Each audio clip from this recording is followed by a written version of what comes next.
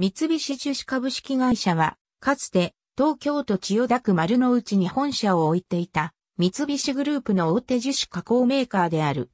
三菱ケミカルの前身企業の一つ。三菱ケミカルホールディングスの完全子会社であった。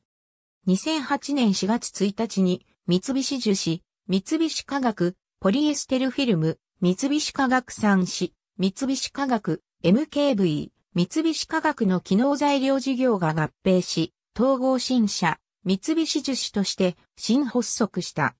三菱グループの一社であり、かつては三菱金融会及び三菱広報委員会の会員企業であった。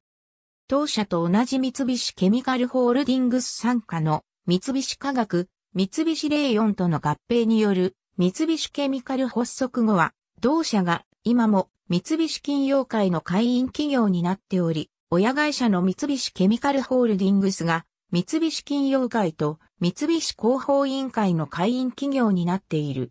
三菱の社名を冠したのは1962年。高機能フィルム、成形品、炭素繊維、アルミナ繊維、樹脂金属複合材、アルミニウム合金などの事業を行っていた。また、関連会社では、切削加工用エンジニアリングプラスチック素材や農業用、フィルム、人工芝などの事業を行っていた。ありがとうございます。